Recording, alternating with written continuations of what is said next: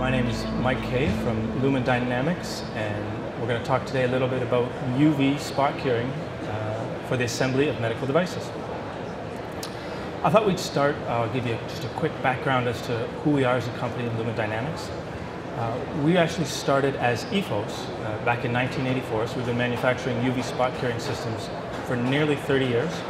Uh, we were purchased by Exfo uh, back in 2001. And then just recently, uh, October 2010, we were acquired by the Riverside Company and changed our name to uh, Lumen Dynamics. So we manufacture the Omnicure line of UV spot curing systems. Uh, we have offices globally. And at this point, we estimate we have probably about 15,000 UV spot curing systems uh, in use in assembly processes globally. We offer both lamp and LED-based uh, UV spot curing technology. And this is something we'll, we'll get into in quite a bit more detail throughout the presentation, really trying to look at the, uh, the benefits of uh, using either one of these technologies. Typical applications from a medical device standpoint include things like balloon catheters, ablation catheters, uh, syringes, anesthesia masks, blood bags, There's many applications within medical device. Uh, just a quick look at the, the products that we do offer uh, for medical device uh, manufacturing. Uh, our lamp-based system is called the Omnicure 2000. So this uses a, a 200 watt mercury lamp. Uh, it includes a dichroic reflector, and what the dichroic reflector does is it, it basically eliminates the infrared energy from the lamp, so it allows for reduced heat uh, when you're curing your parts together. It's got about 3,000 hour typical lifetime, and a, and a peak irradiance of about 30 watts per square centimeter. Now you can adjust that output in 1% increments. And one of the, the real unique features we have within the Omnicure 2000 is what we call closed loop feedback technology. And what that does is, is with a, any arc lamp, it's going to degrade over time. So the closed loop feedback will automatically monitor the output from your system and then make any adjustments to the output in order to maintain a very steady irradiance level. So that allows you to have a very repeatable process because you know you're always going to have a very repeatable irradiance coming from the system. The system uh, is automation friendly, so it can be run through uh, an automated system or it can be run manually. And we also have five different filter selections available. And again, the filters can be used to further reduce the spectral content of the system. And that, again, can be very helpful in reducing the amount of heat. So if you have a very heat-sensitive process, you uh, may want to use a specific filter, reduce the spectral content of the system. As far as the LED system goes, we have what's called the uh, LX400 system. Now LEDs, much longer lifetime, typical about uh, 20,000 hour from life. Uh, a peak of about nine and a half watts per square centimeter, uh, although it is in a limited spot size, and so in this case, nine and a half watts is typically in about a two to three millimeter spot. Uh, with the system, you do have independent control of up to four different heads. You can again adjust the output in 1% increments. Uh, and something that we provided with our systems, we have three different wavelengths available. So we have 365 nanometers, 385 nanometers, and 400 nanometers. And what we, you'll see as we go is this provides you with a little bit more flexibility in selecting the, the wavelength to match up to the adhesives that you want to use. So a little bit more flexibility by offering uh, more wavelengths. We also have multiple lens systems or lens accessories that are available, which really allows you to maximize the output on your part depending on the, the spot size that you require and also the working distance of your process.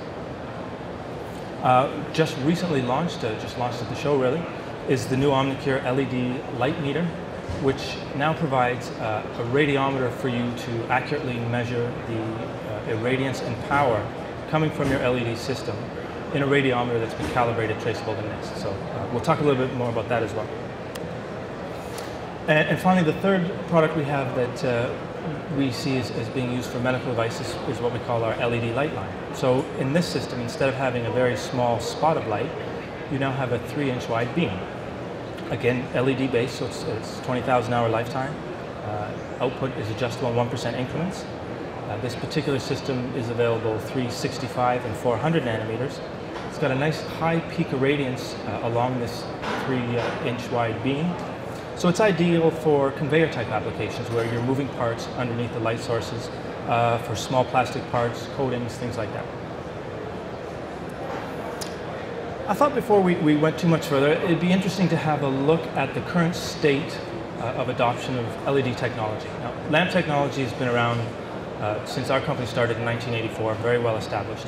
LED is, is a much more recent technology.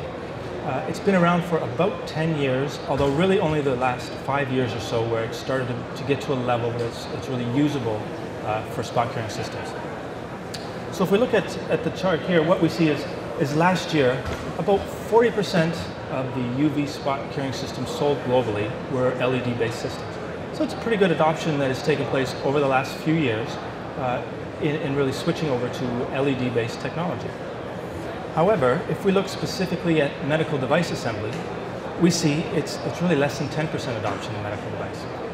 And I find it interesting because LED is actually quite a nice fit for medical device manufacturing. Uh, it's very good at low temperature curing, which is ideal with uh, assembly of plastic parts, such as you see in medical device.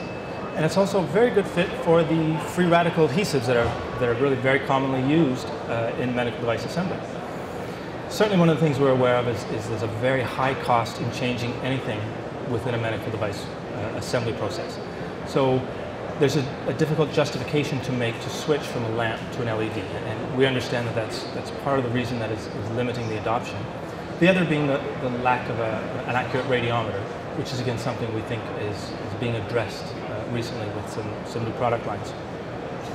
So really what we're seeing at this point is LED systems, in medical at least, really being purchased for R&D uh, requirements, for, uh, for testing, or for new processes.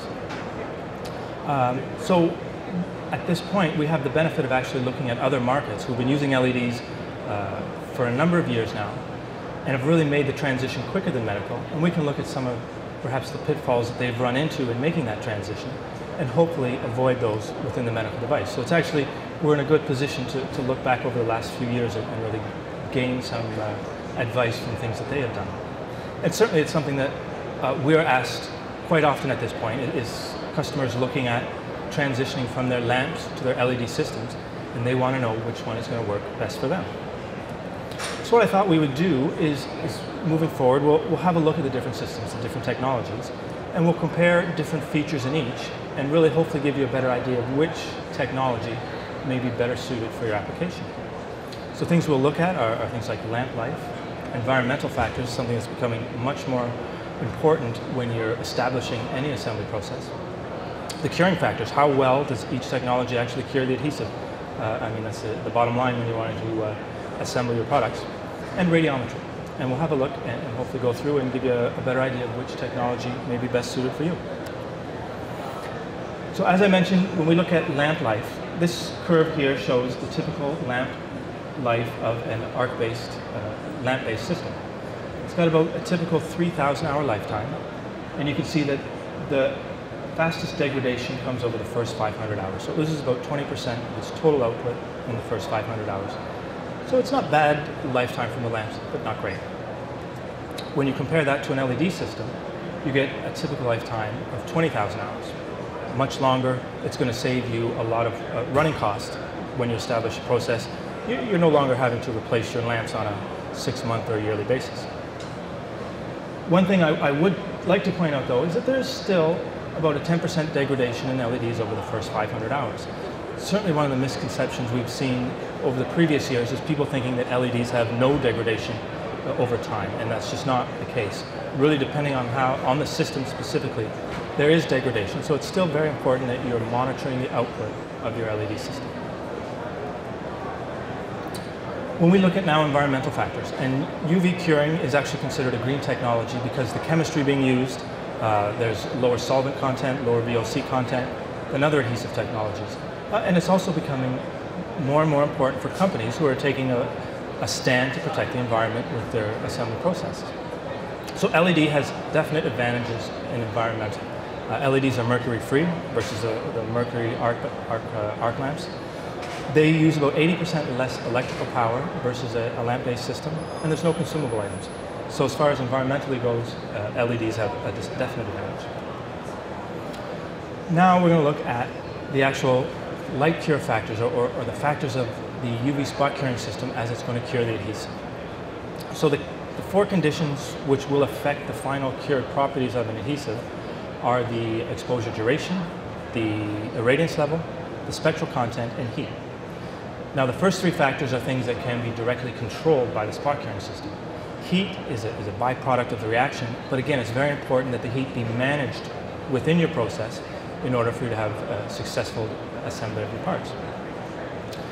And it is important because we have seen many times uh, through our testing that the same adhesive, if you use a different curing process, if you use a different irradiance level, you can actually get different physical properties from that adhesive, different bond strength, uh, different moisture resistance or flexibility. So it's important that you establish a process where you understand these different factors and then you maintain them in order to maintain a very repeatable process. So first thing, if we look at irradiance power uh, from a system, lamps have a, a, very definite advantage here over the LEDs. Uh, a lamp system, you get about 30 watts per square centimeter versus an LED where it's about nine and a half. The lamps, you can, you can cover a spot about 10 to 12 millimeters in diameter uh, versus an LED, an LED system, you're limited to about four millimeter spot sizes. Uh, one of the areas where LEDs uh, sort of mitigate this advantage is if you're using uh, multiple cure sites. With an LED system, using multiple heads. Each head will still maintain that maximum of nine and a half watts per square centimeter. With a lamp system, to get multiple cure sites, you're adding legs to your light guide. And as you add legs, you reduce the total output from each leg uh, as you add them. So there's, there's one area where the LEDs do have a, bit of an advantage.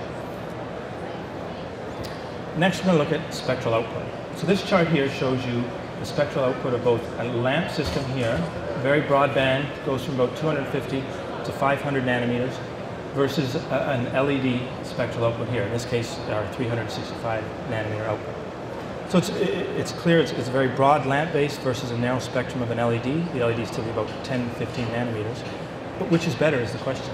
And the answer is really each has uh, an advantage uh, in different areas. If we look at the actual curing requirements, in order to cure adhesive, the adhesive must receive sufficient light of the correct wavelength in order to start the photoinitiator reaction, in order to cure the adhesive. So when you look at the narrow spectral band of the LED, you realize that it's now critical that you match that spectral output of the LED with the absorption spectra of the photoinitiator within your adhesive. If you don't match those two up, you're not going to get any curing, regardless of the irradiance level. That's one of the reasons with our LED system, we offer three different wavelengths. It makes it a little bit easier to match the wavelength of the LED to the requirements of the adhesive. However, when you compare that to the broadband of the, the lamp, you can see that it's much easier for a lamp system to be compatible with the adhesive that you're using because it's going to cover the entire spectrum uh, of the photoinitiator. However, the other aspect of the spectral content is heat. So light beyond that that is needed for the photoinitiator is now absorbed by the adhesive, and that generates heat. You also get light that's absorbed by the materials that are being joined, and again, that's going to generate heat. So although with lamp-based systems you can use filters to reduce the spectral content, what you're going to find is that with an LED system and the, the narrow band of an LED, you're going to get much lower heat. The chart here gives an example of a process where we actually measure the temperature using various curing technologies. So the first, the blue line here is uh, two parts joined together with a lamp-based system with no filter and you can see it, it reached a, a maximum of about 53 degrees Celsius.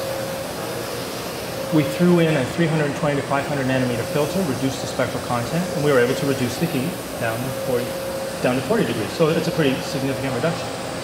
But down here, when you use an LED system, in this case a 365 nanometer LED system, you're able to reduce the heat down to about three and a half degrees Celsius. So much better uh, management of the heat with using LED. So a big advantage to LED. Now, uh, uh, again, with our system, you have three different wavelengths to choose, 365, 385, and 400 nanometers. So which one is, is best for your process?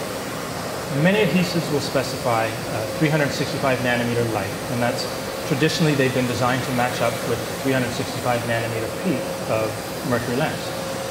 What we find in our testing though is many free radical formulations will cure quite well with wavelengths up to 420 nanometers. Uh, cationics, they tend to cut off a bit lower, uh, up to about 380 nanometers can, can cure them quite well. And in general, using a 400 nanometer will actually give you a better through cure than a 365. whereas a 365 nanometer LED tends to give you a bit better surface cure than the 400 nanometer. And finally, you can't forget the substrate that you're, you're joining as part of your decision-making process on which wavelength is, is best suited. This here it gives an example of, of uh, some testing that we did, joining two plastic parts uh, using adhesive where it specified 365 uh, nanometer wavelength to cure the adhesive. But when we actually went and tested the transmission of light through the plastics, we found that at 365 nanometers, the parts being cured were actually absorbing about 50% of the 365 nanometer energy. So only half the energy was actually getting to the adhesive. Whereas at 400 nanometers, you're now getting about 80% transmission uh, of the light. So you're getting much higher energy through the parts to the adhesive uh, at 400 nanometers. And what we actually found is that at 400 nanometers, the adhesive cured faster and with less heat as compared to the 365. So in this case, if you had followed the specs of the adhesive exactly, it probably wouldn't have had the most efficient process for assembly. The other thing to look at with adhesive compatibility, and again, this is a really important point that we get asked all the time, is many adhesives have been designed to work with broad spectrum of lamp-based systems. Many of them will have multiple photoinitiators, varied absorption peaks, and, again, that was to take advantage of the broad spectrum of the, the lamp systems. So if you now want to move your process from a broad spectrum of a lamp to the very narrow spectrum of the LED, will you get the same curing? And it's a really important question to ask because if you don't get the same curing, then obviously you need to know that as part of your testing. So I just I wanted to share with you some of the testing that we've done along those lines to really try and identify whether taking a process that you know works with a lamp system, transitioning it to an LED and see whether or not you're going to get the same results. So the chart here shows results of what we measured here, and in this case it's micro hardness. Now we use micro hardness as an indicator on whether or not an adhesive is cured. It's not uh, a, an exact uh, confirmation that the adhesive is fully cured. But what you do is if you cure an adhesive uh, to a, the point where you know it's cured, you measure the micro hardness. This now gives you a baseline. So as you're doing further testing, uh, you know that if you reach that same micro hardness, it's at least an indicator that your adhesive is fully cured. So in this case, we took an adhesive that we knew if we cured it with the lamp, we would get it fully cured. And we reached a micro hardness of right around 60. Took the same adhesive, replaced our lamp with an LED system, in this case, a 365 nanometer LED system, and we achieved a micro hardness even a little bit better. So based on this, it would at least indicate that the LED system did cure the adhesive at least equally as well as the lamp system. However, when we took those same samples and did really a more direct analytical testing with them, in this case we looked at them, uh, we've got it at a DSC system, where we could actually show the amount of uncured material within those samples. What we found is this line here, the blue line, shows the sample that was cured by the lamp-based system versus the red line, which was the sample cured by the LED. So, in fact, although both samples achieved the same micro-hardness level, there was significantly more uncured material within the adhesive that was cured by the LED. So based on this further testing, you would have to say that no, these adhesives were not cured equally well with both lamp and LED. Now this is just one example of one adhesive, but I think it's really important to make this distinction that curing with an LED is very different than curing with a lamp-based system, so it's very important that you follow through on the testing on the analysis to ensure that you are getting the same cured properties with either of the technologies. So finally, we'll, we'll talk a little bit about radiometry. Uh, again, LAMP system's been around for years. The radiometry is very well established. Uh, there's a number of radiometers out there that work very well for measuring the output from your lamp-based systems. So although LEDs we saw degrade much slower than lamp-based systems, they do still degrade. It's still very important that you're monitoring and measuring the output from your system.